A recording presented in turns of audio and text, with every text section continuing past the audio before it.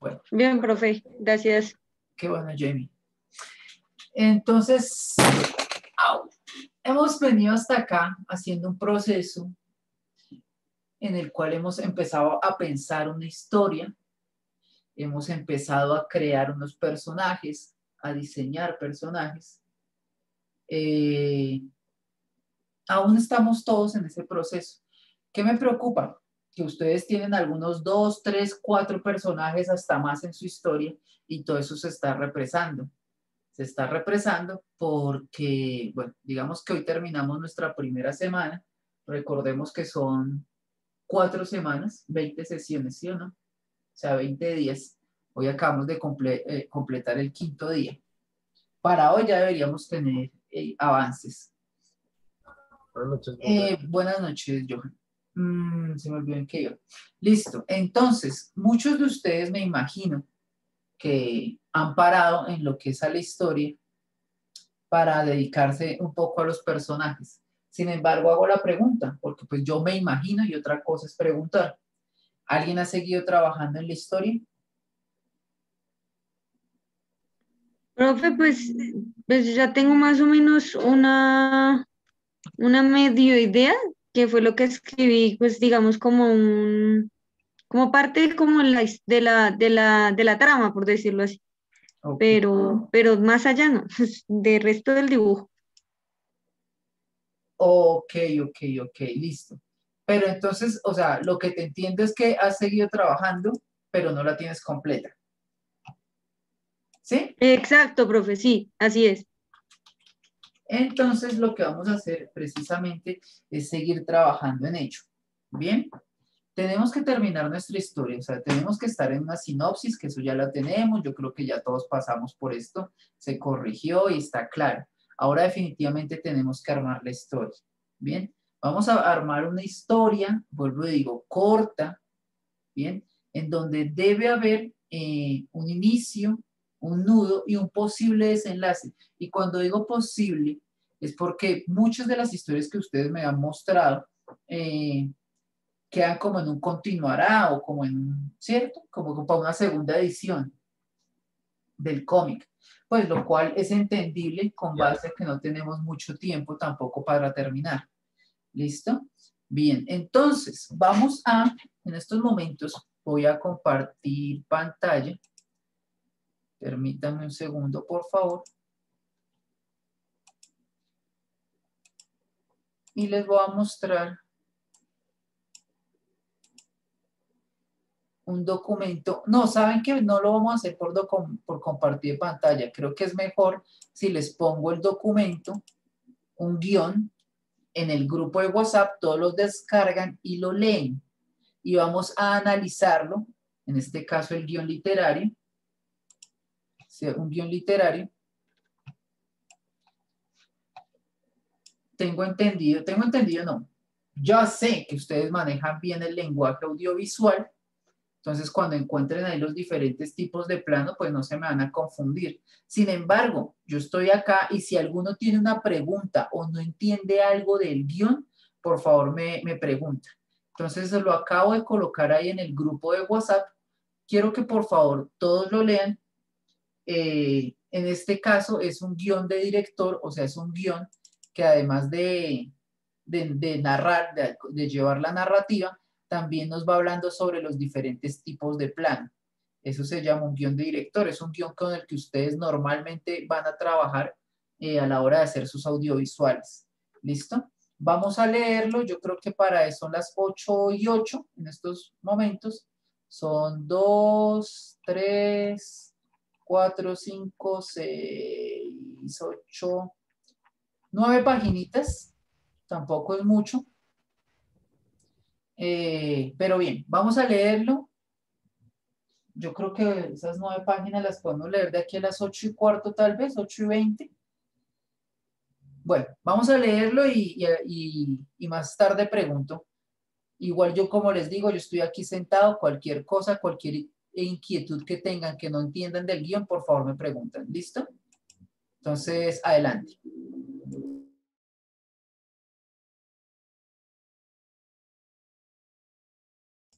perdón, quien no tenga la posibilidad de descargar el guion, también lo voy a poner aquí en el chat de, del Zoom. ¿Listo? Para que no haya excusa de que por qué no lo leyó.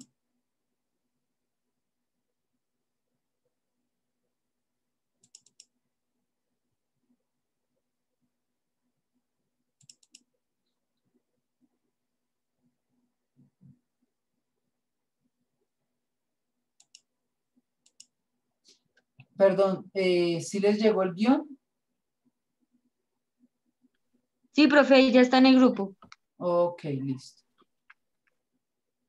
Entonces, para ser más claro, en los guiones, cuando ustedes vean clases de guiones, aunque oh, yo creo que de pronto vieron algo de eso, de eso con Ángela, en los guiones no existe el pasado o el presente como, eh, perdón, o el futuro como tal, solo existe el presente, porque los guiones están hechos para realizarse audiovisualmente. ¿Cómo así?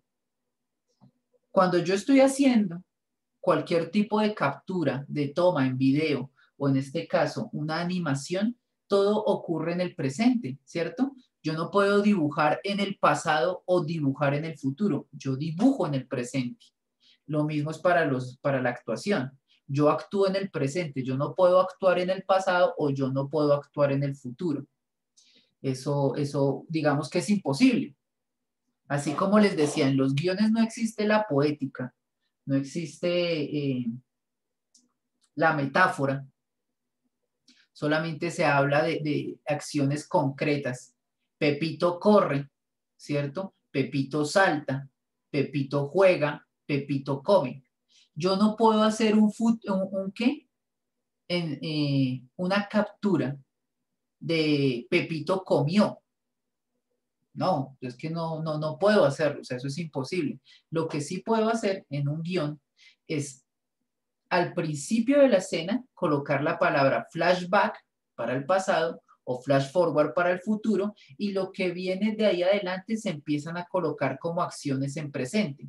Vemos a Pepito comiendo en la casa mientras su mamá le alcanza un café todo, todo está en presente, todo está en, tiempo presente.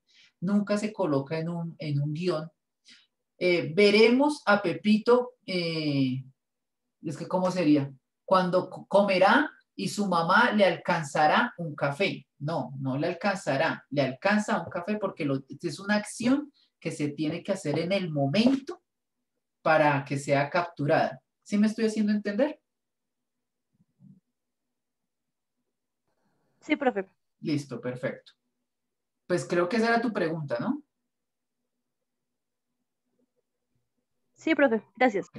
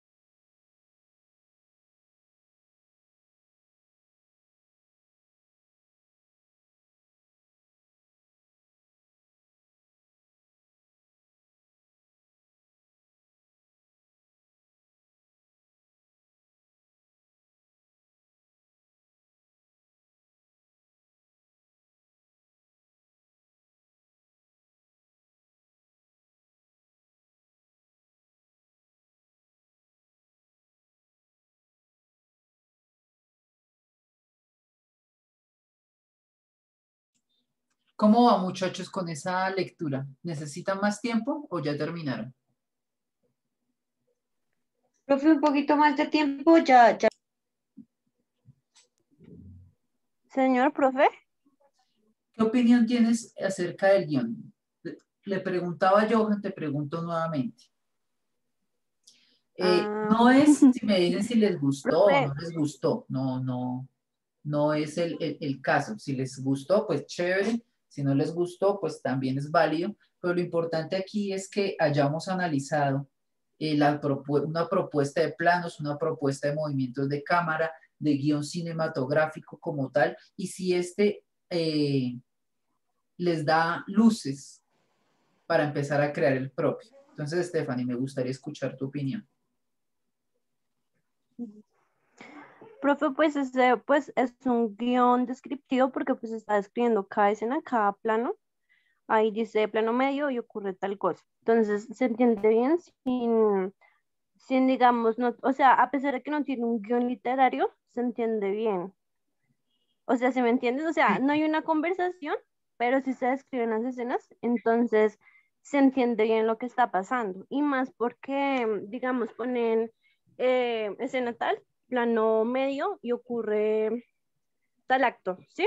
Sí, Pero digamos en el caso donde dicen eh, acciones paralelas, eh, ahí no me quedó muy claro porque si es, o bueno, ahí en el guion dice uno, dos, tres, sí, y están las acciones.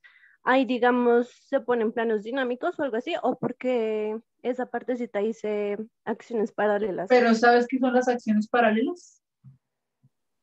No, profe, por eso te Ok, pregunto. entonces partamos de ese ¿Estás hablando, no, profe? Las acciones paralelas son, eh, vamos a llamarlo acciones, bueno, sí, como su nombre lo dice, que están sucediendo al mismo tiempo y que las podemos ver a todas en pantalla. ¿Ustedes alguna vez vieron la serie que se llamaba 24? ¿No? Profe.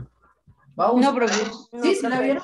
Sí, profe, que se veía en un lado el, el reloj y Yo no, profe. Eso, y que salía el reloj y que iban pasando pi, pi, que iban a aparecer. Voy a buscar aquí en, en- en YouTube. Yo asumo que YouTube tiene todo. Entonces voy a colocar aquí eh, 24.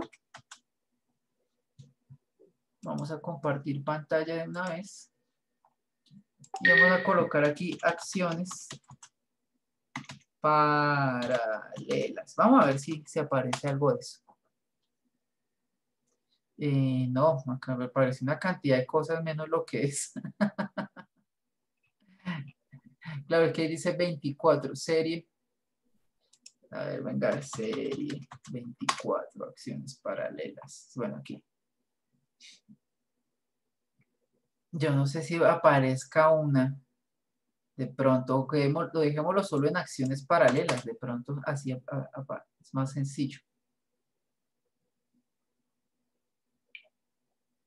Vamos a ver, no sé qué es esto de ejercicio de acciones paralelas, pero hasta de pronto funciona. No, en ningún lado hay una acción paralela en este video. Quedó mal hecho.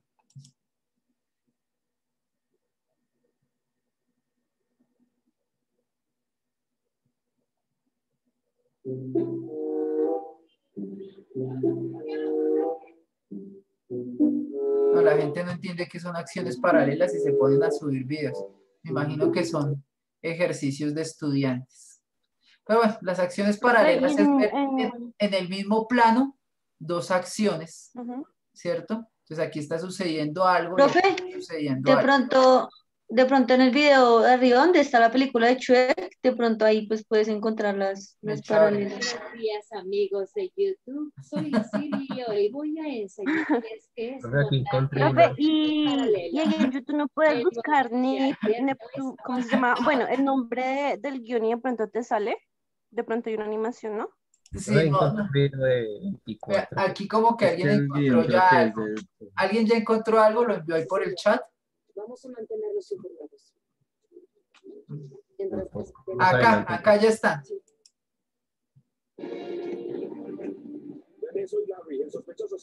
Vea, eso, ¿sí? Esto es una acción paralela. ¿Listo? Obviamente ella está por allá en su oficina, Él está en el campo de acción y podemos ver cómo las dos cosas suceden al mismo tiempo. Estos son acciones paralelas. De acuerdo. El equipo está a unos minutos. Eso, y aquí entra la tercera, como en el guion, ¿te acuerdas? En el guion creo que entran hasta cinco planos, creo. El sospechoso tiene el arma. Ten cuidado. Si puedes, lo quiero vivo. Sí, señor.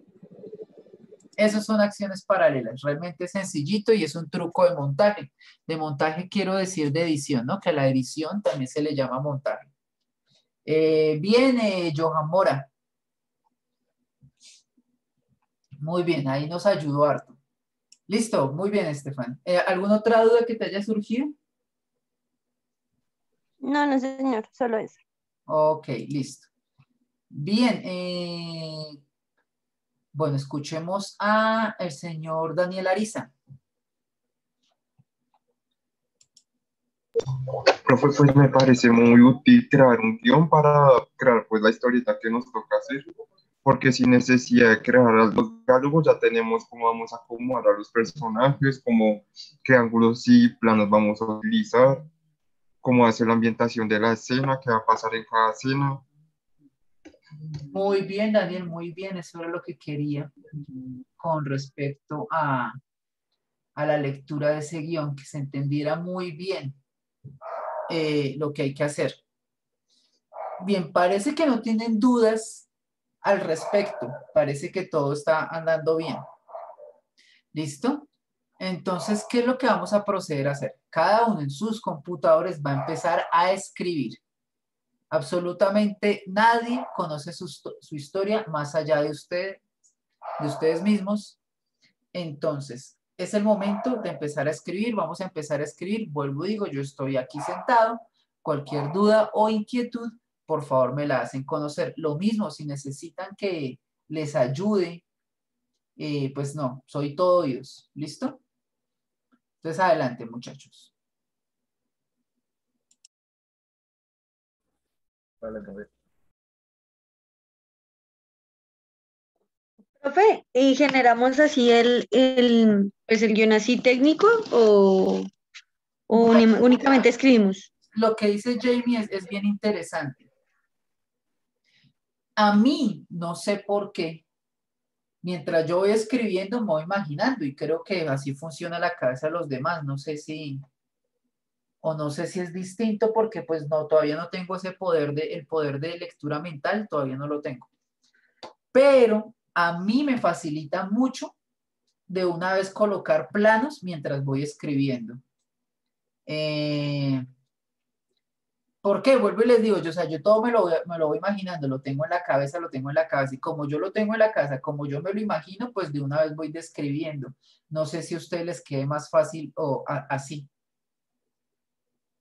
Pienso que sí, yo creo que, o sea, cuando uno se imagina, por ejemplo, vamos a imaginarnos una pelea.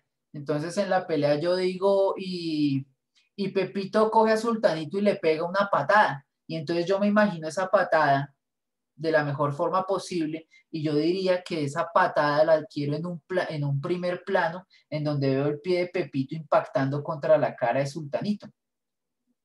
Y sé que es un, un buen plano. Me lo imagino así, no sé ustedes. Entonces yo diría que sí es un buen ejercicio ir eh, describiendo el plano e incluso movimientos de cámara si los necesitan a medida que van escribiendo las situaciones. Mm, creo que todavía tengo aquí el, el guion de, eh, Ciudad de Ciudad Zombie. ¿Dónde estará? De pronto ese, ese les sirva. Planos adicionales. No, esto no es. Esto no es.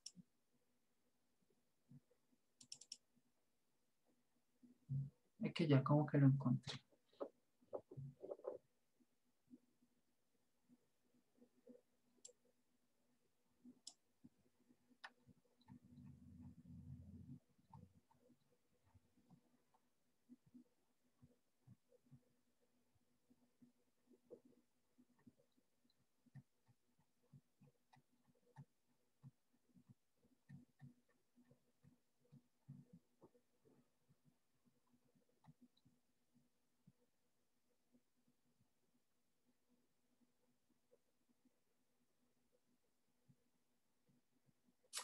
Mm, les voy a poner en el, en el grupo de WhatsApp también el,